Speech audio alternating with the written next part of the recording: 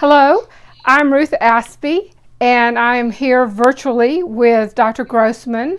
We are both psychologists and founders of the Ziggurat Group. Today, we're starting a series of videos trying to help parents and teachers who are working with individuals on the spectrum. And we're focusing on this time of COVID 19, strategies that could be helpful.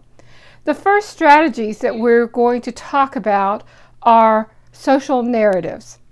You may have heard of a whole range of social narratives. They include cartooning, comic strip conversations, social stories, power cards, and um, they are very popular and uh, well supported strategies they need to be individualized. One thing that you can find collections of social stories and social narratives online. You can find books that are full of them. And one of the things that we're going to talk about today is how to individualize them so that they work best with any given individual. Something that, that uh, might surprise you is that social narratives are helpful from preschool all the way through adulthood and that what we need to do is make sure that they're developmentally appropriate and then they can be used at any age any level of development. We also know that social narratives work best when they're paired with other strategies. So later on in this series of videos we will be talking about other strategies that will work well with social narratives now Dr. Grossman is going to show you a social narrative that we created with the Autism Society. We'll show you a link here. And he is going to talk about how he has individualized it with some of the individuals that he has worked with. Be creative when personalizing your social narrative. One of the things I've done is I've taken the social narrative and I've uh, cut out each of the strips um, to allow for uh, writing and drawing. And this is uh, an example of one after I've cut it out. And let me show you what we've done here. Uh, when I spoke with one child about places that he couldn't go because he was he and his family were practicing social distancing, he talked to me about how his family wasn't going to be able to take a trip to Disney World this summer. And so he drew a picture um, here, and that's how he personalized this narrative. Another child, I asked, Can you name some individuals that help you feel safe and calm during this time of change? And so what we did was he, he wrote it down on a post it note. And we just put that down on here. And he said his mom and his dad and, and his cousins Jenna and Katie. So if there's any element in the story that you can individualize, then it's going to make it a, a stronger narrative for the person with whom you're working. And it may be a place, it may be a person, it may be um, an object, it, it could be anything that will make it more about that individual's life. And you can do it through, through their drawing, through your drawing, through uh, notes, through post-it notes, anything, anything that you can do to make it more about that individual's life is going to make it a more powerful narrative. One of the key points in the story was illustrating the concept of social distancing being six feet apart. The story utilizes a bed to help uh, as a concrete reference for six feet. So the approximately the distance from a headboard to the footboard is six feet.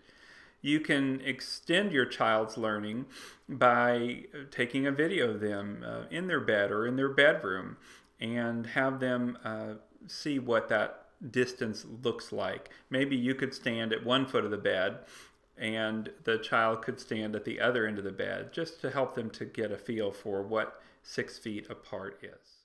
Another strategy would be having a parent and the child or adolescent uh, at either end of the bed and have someone take a photograph of those two people. And that could be a photograph that you put onto your page in your social narrative. There are many ways to use a social narrative. We recommend reading the narrative with your child or adolescent and asking questions about key concepts to be sure that they understand. For example, you might ask your child or adolescent, what does it mean to spread germs? Why can't we be around large groups of people?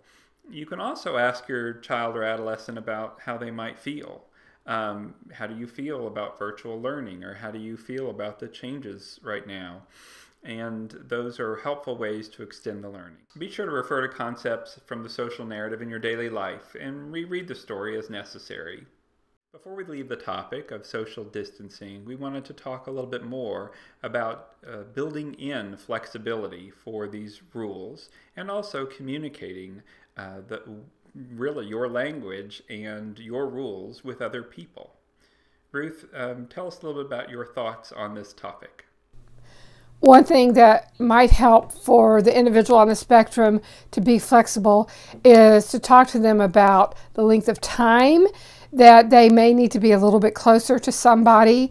And we've learned recently, we've all learned about singing the happy birthday song when we wash our hands. So that might be one we just say, well, if it's the length of a happy birthday song or two happy birthday songs, you're fine, you're doing your best to social distance. Or we might talk about uh, one Mississippi, two Mississippi, whatever it is that that uh, the individual you're working with understands and is familiar with, so that it gives them some tools for figuring out how, how to be flexible um, while still knowing the importance of social distancing.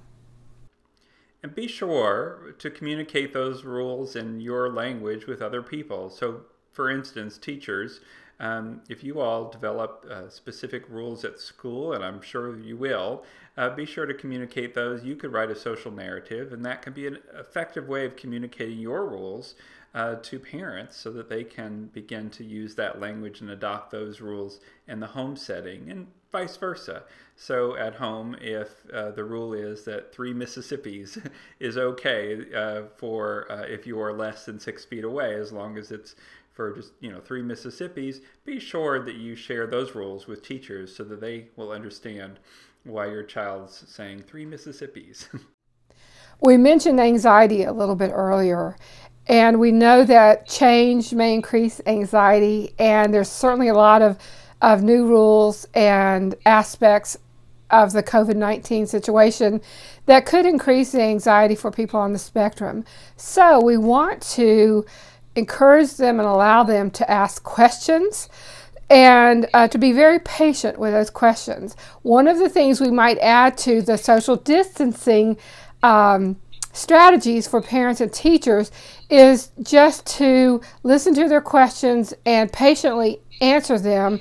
Let them know you're on their team and they don't have to figure out social distancing on their own, that they can come to you to help them uh, adapt to whatever new situations they're in. And it's also important to point out that structure helps to reduce anxiety. And so all of these rules, um, the six feet away rule and you know just a bed or three Mississippis or whatever it may be, you're creating predictability, you're providing structure, and that can help uh, students and children on the spectrum to be uh, to be calm and comfortable. A link to the parent guide is provided below. Please join us for our next video for tips on using masks.